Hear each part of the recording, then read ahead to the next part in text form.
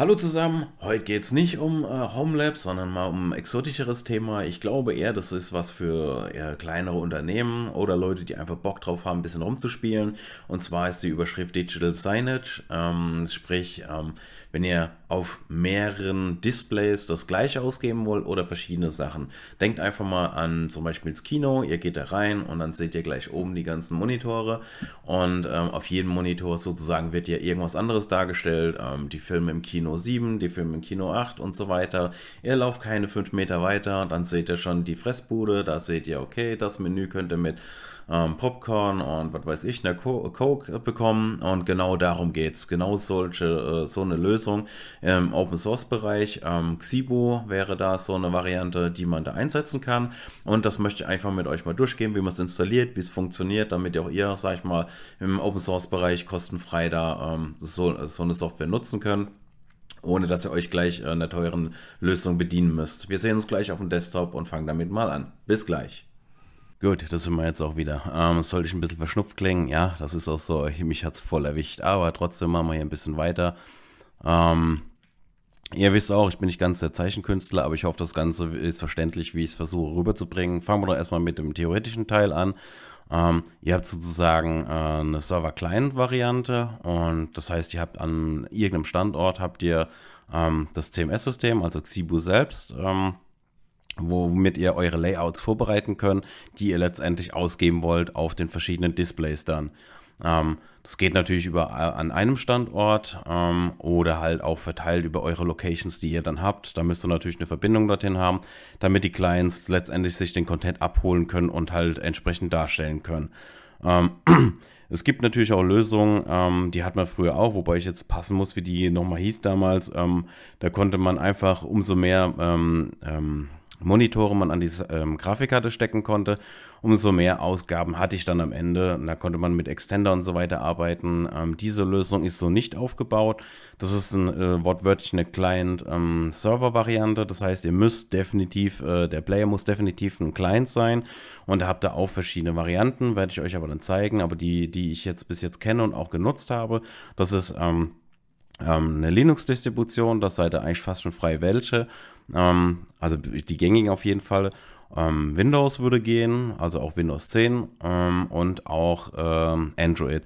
Ich muss allerdings an der Stelle so ein bisschen zurückrudern, aber das werde ich euch auch sagen, was ich meine mit kostenfrei. Grundsätzlich ja, aber nicht alle Bereiche. Dann würde ich sagen, machen wir uns doch äh, von dem theoretischen Teil mal eher an die praktischen Geschichten. Ich werde euch aber erst nochmal die Webseite zeigen und was dazugehört. Wir sehen uns gleich wieder. Gut, ähm, halten wir es kurz. Das ist die Webseite, also über xibo.org.uk kommt er dorthin. Ähm, hier könnt ihr euch auch ein bisschen durchnavigieren. Äh, ähm, wichtig ist eigentlich, äh, was für Varianten es gibt. Ihr könnt es einfach einmal hosten lassen, dann kostet natürlich äh, die Summe X, kann ich euch jetzt nicht sagen. Ich habe natürlich die Installation äh, für Self-Hosting gemacht, also sprich, dass man selbst installiert und ähm, entsprechend die Client, Clients dazu installiert. Hier seht ihr es auch, äh, Android, Linux, Tyson, WebOS, Windows, wobei ich zugeben muss, äh, mit den beiden, also Tyson und WebOS, habe ich noch nie was gemacht. Ähm, Und die Installation an sich gibt es auch in zwei verschiedenen Varianten, wenn ihr euch dafür entscheidet. Ihr könnt einmal ähm, einen Docker-Container ähm, euch äh, also bedienen und ähm, einmal halt die reguläre Installation. Ich werde auch gleich äh, dazu sagen, ähm, in diesem Video mache ich keinen Docker, sondern es geht wirklich um die Installation. Ist vielleicht ein bisschen schwieriger, aber ganz ehrlich, wenn ihr copy-pastet aus meinen Anleitungen, die ich letztendlich auch unten verlinken werde in der Videobeschreibung, dann kriegt auch ihr das hin. Also das ist kein großes Hexenwerk. Ihr müsst halt nur ein paar Sachen beachten und ähm, sozusagen wie immer äh, read the fucking manual und dann funktioniert das Ganze auch. Gut, ähm, machen wir uns doch nochmal kurz zu dem Thema, wo ich gesagt habe, ich muss zurückrudern. Ähm, fangen wir mal mit den Playern an. Ähm, ihr seht hier, das gibt es einmal für Ubuntu und da seht ihr die Lizenz, also insofern, ihr könnt das kostenfrei nutzen. Hier dasselbe in grün, für Debian auch kein Thema. Äh, für Windows steht hier auch dabei, äh, Free, und das steht hier unten auch nochmal, äh, Free of Charge, genau. Und also grundsätzlich, die Player sind soweit kostenfrei und äh, auf GitHub könnt ihr letztendlich dann ähm, die entsprechend, das entsprechende Release herunterladen. Wo ich zurückrudern muss, ist bei Android. Ähm, ihr seht hier, das kostet leider etwas. Ähm, ich habe hier unten mal geschaut. Ähm, hab das auch für euch gleich mal umgerechnet. Also die 15 Pfund ähm, Sterling kosten hier umgerechnet 18,12 Euro aktueller Stand heute. Ähm, und ähm, wie gesagt, wenn ihr das halt doch lieber darüber nutzen wollt, dann müsst ihr jetzt Geld bezahlen. Früher war das kostenfrei, äh, hat sich wohl etwas geändert. Gut, dann würde ich sagen, machen wir uns dann die Installation. Da sehen wir uns gleich wieder. Gut, ähm, um euch einfach, ja, sag ich mal, wahrscheinlich eher uninteressanteren Content zu ersparen, für, wie man irgendwie ein Betriebssystem installiert, habe ich jetzt diesen Part einfach geskippt. Ich habe vorbereitet einmal die Main-Maschine, das ist also, wo das CMS drauf läuft von Xipo. Das ist ein äh, Ubuntu ähm. Ähm, da seid ihr allerdings auch frei, ähm, ge äh, genauso wie bei den Clients. Also ihr könnt euch auch entscheiden, ob ihr vielleicht auch ein Windows nehmen wollt mit irgendeinem äh, Webserver. Also grundsätzlich geht darum, ihr braucht einen Webserver und ihr braucht einen MySQL. Ähm, ich bin der Meinung, wenn wir schon in dem Open Source einen kostenfreien Sektor sind, dann sollte man sich vielleicht auch nicht zwingend jetzt noch in der Windows-Lizenz bedienen müssen. Aber das ist jedem natürlich selbst überlassen, womit ihr euch sicherer fühlt. Ähm, Grundsätzlich, wie gesagt, für ähm, das CMS habe ich ähm, Debian, äh, Quatsch, Ubuntu ähm, Server genommen. Gut, um es euch einfach mal zu zeigen, habe ich jetzt einfach mal ähm, eine Windows 10 Maschine genommen und ich habe eine Ubuntu Desktop Variante als Client nochmal genommen. Ähm, auch da, die Maschinen, die Ubuntu-Maschinen, die beiden, die habe ich komplett geupdatet und ähm, das ist die 20, boah, ich müsste jetzt lügen, kann ich euch jetzt, doch, da steht es ja 2004 ähm, LTS, beide. Ähm, und ähm, der Windows Windows 10, ganz ehrlich, da habe ich irgendeine ISO genommen, die ich rumfliegen hatte. Ich glaube, es ist ein 1909 oder so. Ich habe die jetzt nicht geupdatet, gar nichts. Einfach nur rein und gib ihm. Die sind ähm, zusammen in einem Netz und das war es auch schon. Ähm, also für, zum Zeigen reicht das. Wie gesagt, ähm, sind soweit vorbereitet, äh, Updates und alles sind durch und dann habe ich natürlich wie immer, ähm, wer meine anderen Videos verfolgt, wird immer natürlich ein Snapshot gemacht. Ihr seht, wir sind jetzt bei dem Stand nach dem Update und dann würde ich sagen, ähm, da würde ich auch das, den Content einfach etwas vorspulen. Ähm, alles, was ich jetzt tue, ist letztendlich nur Copy-Pasten und installieren. Und ich denke, das wird für euch wahrscheinlich auch etwas langweiliger sein. Deswegen wird man den einen oder anderen Part ähm, einfach im Schnelldurchlauf dann machen. Dann fangen wir doch einfach an. Also, was benötigen wir? Wir benötigen also die, ähm, den Webserver. Dazu habe ich schon mal sämtliche Sachen ähm, kopiert. Also kopiere ich jetzt, was ich mir zusammengesucht habe. Wir brauchen ähm, ein ähm, Apache. Wir brauchen, äh, ja, oder also was auch immer ihr für einen Webserver. Ich habe mich jetzt für einen Apache entschieden. Ich habe ein MySQL, ich habe PHP und die entsprechenden äh, Requirements, die wir für PHP brauchen. Die könnt ihr, by the way, auch hier nachlesen. Hier steht es auch. Also auch das werde ich euch verlinken ähm, was für Re Requirements ihr habt für den Webserver. Ähm, gut, natürlich sind wir da schon ein bisschen weiter. Ähm, Habe ich eine neue Variante genommen, den Webserver. Wir haben hier PHP ähm, 7.4, ähm, glaube ich, jetzt sogar mittlerweile darauf installiert. Ähm, das müssen wir alles noch machen. Wir sind dann bei dem Part hier unten. Genau, diese Modules, die habe ich natürlich auch schon mit hier dabei und das Ganze installiert jetzt. Und ja, lassen wir es einfach durchlaufen, dann sehen wir uns gleich wieder. Okay, er ist schon durch, alles klar, können wir auch gleich weitermachen. So, ähm, wenn alles funktioniert hat, dann müsste jetzt der Webserver direkt hier auch funktionieren. Ähm, wenn ihr es nicht wisst, ihr könnt einfach hierher gehen mit IP-Address und dann guckt ihr, was der für ein IP hat. Der hat die 21, also die 10, 10, 70, 21 und der Webserver funktioniert. Passt soweit. Okay, prima. Dann ähm, da jetzt natürlich noch alles nackig ist, äh, ganz ehrlich, ich werde jetzt nicht auf Sicherheitsthemen etc. eingehen. Ähm, das denke ich mal, setze ich jetzt voraus, wer so ein Projekt basteln will, dass der so ein bisschen Vorkenntnisse hat. Das heißt, ähm, jetzt haben wir ja auch ein äh, MariaDB installiert, das heißt, also mit MySQL könntet, also habt ihr jetzt eine Datenbank. Und ähm, grundsätzlich auch Xibu wird später so funktionieren, dass ihr die die Datenbank aus dem Web-Frontend anlegen könnt. Wenn wir uns aber jetzt schon für den harten Weg entscheiden und machen das jetzt ohne Docker, äh, sondern wir installieren alles manuell, dann tun wir das jetzt natürlich auch gleich auch mit, ähm, mit der Datenbank. Das heißt, ihr müsst hier mit MySQL minus äh, für User und klar, es ist noch nichts hinterlegt, also es root der äh, User, der drankommt, minus P für Password. Da wir noch nichts eingerichtet haben, können wir auch mit Enter weiter und wir sind drin. Das sollte man natürlich später ändern. Wie gesagt, es ist eh nur ein YouTube-Video für euch, damit ihr sowas nachbauen könnt. Ich ignoriere das jetzt einfach mal an der Stelle. Ihr solltet das Passwort ändern, aber belasst es so, ähm, also belasst es nicht so, ändert das Kennwort in ein sicheres, äh, also mit dem Kennwort. Meine Herren, ihr wisst, was ich meine. Also, was müssen wir machen? Wir machen Create Database und ähm, habe ich natürlich auch schon für Copy-Paste vorbereitet. Also Create Database und dem Kind einen Namen geben. Bei mir heißt es xibo-db und das Ganze natürlich mit dem Semikolon äh, beendet. Schuss und ihr seht, passt. Ähm, ihr braucht auch einen Benutzer, den habe ich natürlich auch schon vorbereitet. Ähm, Ganz simpel, da mache ich jetzt mich nicht lange rum. Das Einzige, was ich jetzt tue, ähm, ich muss das hier wegmachen ähm, ich habe da äh, ein Thema gehabt ähm, bei meinem vorherigen Test, wo ich, es für euch vorbereitet habe. Ähm, den habe ich jetzt noch nicht behoben. Das will ich jetzt in diesem Video mit euch zusammen machen. Ähm, da ging es darum, dass äh, ich kein, ähm, also wenn man eigene ähm, Images hochgeladen hat, also eigene Bilder, und dann hat er irgendwie in dem Convert-Prozess irgendwie ewig gehangen und wenn man danach gegoogelt hat und dann hat es geheißen, ja Moment, ähm, also für mich völlig unverständlich, aber okay, ähm, dass wohl äh, in dem Datenbank-Passwort äh, irgendein Sonderzeichen drin ist und daher ging das nicht weiter, hat nicht funktioniert. Deshalb, wir machen es jetzt einfach mal so, wie es da jetzt steht, einfach mal jetzt ganz simpel Xibo 1, das ist jetzt, ja, nennen wir es jetzt mal auch nicht ganz sicher, aber wir belassen es so. Also User Xibo und Xibo 1 das Passwort. Wir machen Enter und auch das hat funktioniert. Jetzt müssen wir dem natürlich noch die äh, Rechte auf die Datenbank geben. Also das habe ich natürlich jetzt nicht vorbereitet zum Copy-Pasten leider. Grant all privileges. Äh, ja, so schnell kann es gehen, wenn man Wald vor lauter Bäumen nicht sieht. Ähm, ich habe hier einfach ein L vergessen. Ihr habt es wahrscheinlich gesehen, ich nicht. Ähm, gut, einfach hier mit All und dann war es das auch schon. Also grundsätzlich war es schon richtig. Dann noch hier Flush Privileges und ähm, dann mit einem Exit kommt er raus. So, das ist eigentlich alles an der Stelle. Das heißt, ihr habt einen Benutzer angelegt, ihr habt eine Datenbank angelegt, den Benutzer auf die Datenbank somit berechtigt, allerdings nur für Localhost. Das heißt, ähm, von Remote dürfte ich jetzt nicht drauf zugreifen. So, das nächste, was wir machen müssen, wir müssen ähm, dann eigentlich die ähm, die, die ähm, Apache-Config anpassen. Aber da würde ich sagen, den Schritt überspringen wir jetzt, weil ich nämlich noch den Ordnernamen benötige. Also, da können wir uns eigentlich jetzt schon hermachen. Ähm, ich zeige euch einfach, wo es ist. Wie gesagt, auch in der Videobeschreibung werde ich es verlinken. Ähm, beziehungsweise auf meinem Blog werdet ihr es nachsehen können, die ganze Anleitung.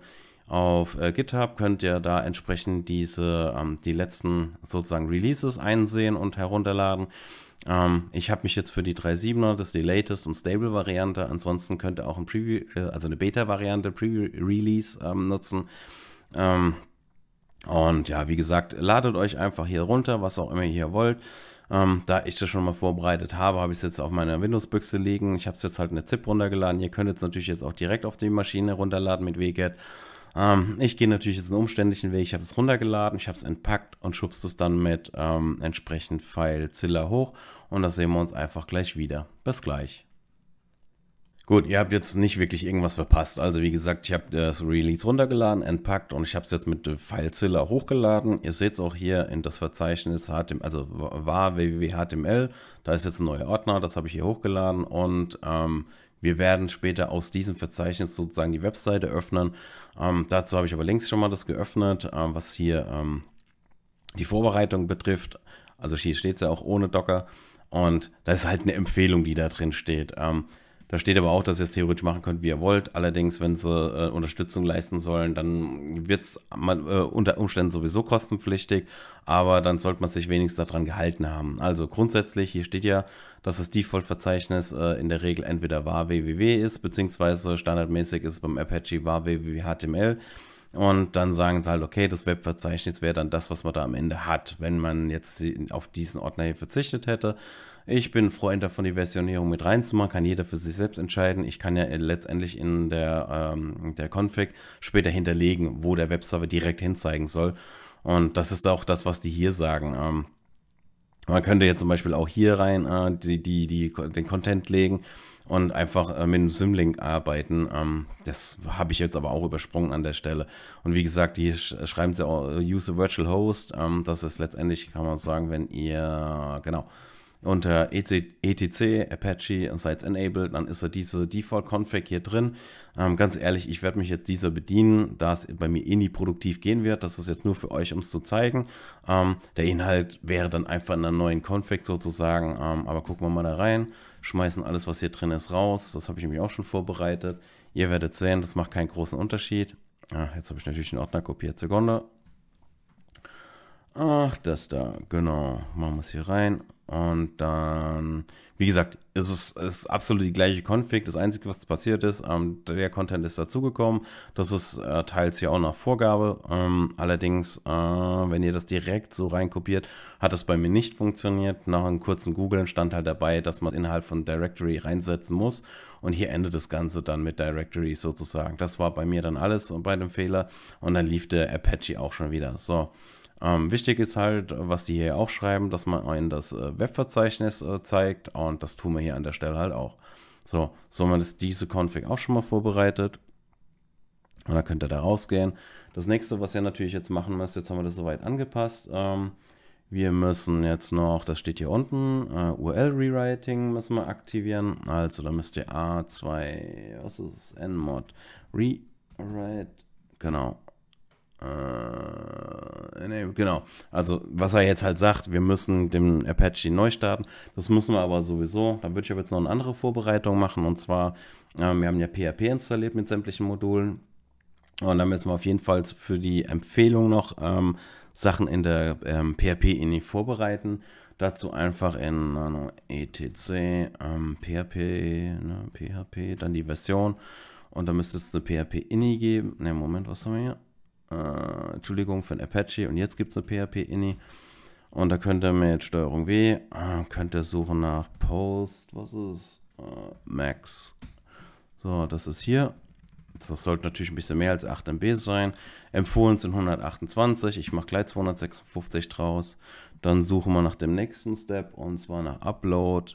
Uh, upload, Upload, Upload, Max. Und dann gucken wir mal, was er findet. Genau.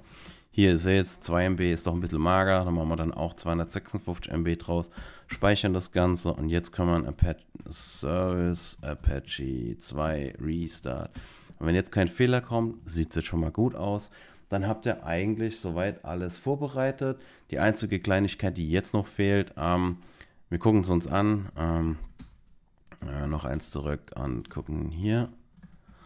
Das ist natürlich jetzt ähm, suboptimal. Natürlich muss der www-Root berechtigt sein und nicht, ähm, äh, Quatsch, der www-Data und nicht der Root berechtigt sein. Ergo müssen wir jetzt natürlich hier hergehen und sagen, äh, Change Owner, äh, dann ähm, www-Data, die Gruppe noch da drauf und dann Xibo, genau, so. Und jetzt, wenn wir jetzt ein LS nochmal machen, dann seht ihr, okay, www-Data, perfekt, so soll es sein. Und dann haben wir eigentlich die wichtigsten Vorbereitungen getroffen. So, und jetzt können wir uns eigentlich auch schon anschauen, ob das Ganze funktioniert.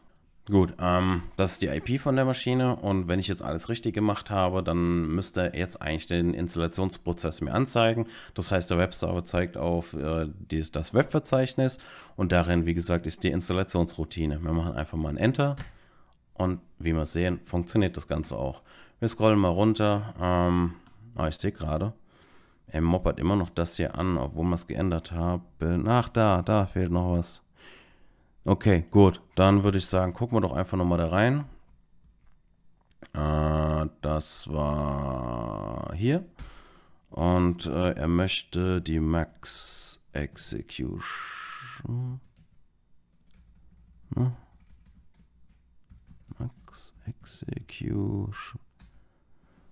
Da Time möchte er auf 120 Sekunden haben, kriegt er natürlich noch. Dann speichern wir das Ganze und dann hoffen wir, dass wir jetzt alles haben. Also dann tun wir nochmal den Apache äh, auch nochmal durchbooten, also restarten. So, und wenn wir jetzt hier auf Retest gehen, müsste perfekt. So, gut, dann sei es mir verziehen, den einen Punkt habe ich wohl doch übersehen. Ähm, jetzt ist alles so, wie sein soll, funktioniert soweit. Dann können wir auch schon die Installation jetzt, äh, fortsetzen, indem wir hier unten auf Next klicken. Ähm, hier will er, genau, hier geht es um die Datenbank. Ähm, wir sagen Existing, das ist das, was ich meinte. Ihr hättet jetzt hier auch einen anlegen können. Brauchen wir an der Stelle nicht, weil wir haben es ja. Das ist hier der Local Host, weil er ist es selbst. Ähm, oder wäre es halt die 127.001 gewesen an der Stelle. Dann Database Name haben wir ja gesagt, ähm, xibo-db. Der ähm, Database Username ist xibo und xibo1 haben wir als Passwort genommen. Sind wir uns einig, das ist alles andere als sicher, aber ich gehe davon aus, wenn ihr es produktiv macht, dass ihr da natürlich sinnvollere Namen nehmt und nicht gleich äh, de den Namen des Produkts, weil das ist schon relativ leicht zu erraten. So, wir gehen auf Weiter. Wenn alles gefruchtet hat, dürfte jetzt hier auch kein Fehler kommen. Gibt es hier auch keinen. Und auch hier machen wir Xibo und von mir aus auch Xibo als Passwort. So, ähm, eine Sache, die ihr noch benötigt, ähm, das habe ich das jetzt schon geschlossen. Ich habe es leider geschlossen. Ähm, empf die empfehlen auch ähm, die Media Library, die wir letztendlich hoch und runterladen können, dass wir die in einen gesonderten Ordner machen, der nicht in diesem Webverzeichnis ist. Dann machen wir einfach ähm, hier einen Ordner äh, Media und ähm, natürlich müssen wir auch den Owner ändern. Change Owner. Naja gut, da brauchen wir das jetzt nicht. Dann machen wir www äh, Media. So, und jetzt müsste da auch, äh, genau, das passt soweit. So, haben wir das auch geschafft. Dann gehen wir da rein, können wir es uns nämlich gleich kopieren, Media. Und dann nehmen wir das hier. So, kopieren es hier rein, natürlich ohne den Hashtag. Genau, das ist ähm, der Serverschlüssel, den braucht ihr später bei den Clients, zeige ich euch aber auch. Ähm, und die Statistiken ist ja nur ein Test, geht die also nichts an, was ich jetzt hier als Test mache. Gehen wir auf Weiter. Und dann seid ihr eigentlich auch schon durch. Das heißt, Xibu an sich würde jetzt funktionieren. So, man merkt ja natürlich immer im Nachhinein, wie lang ein Video geht, wenn man äh, das Ganze umgesetzt hat und schneiden möchte. Deswegen würde ich auch sagen, machen wir jetzt an der Stelle mal einen Cut. Und ähm, wir machen im nächsten Video dann weiter, da zeige ich euch die Oberfläche und dann wird es ein drittes, letztes Video geben, wo ihr die Clients seht und was, wie das da dann ausschaut. Dann würde ich sagen, danke ich euch erstmal für diesen Part vom Video und wir sehen uns natürlich gleich im nächsten Video. Also, bis dann, macht's gut, ciao.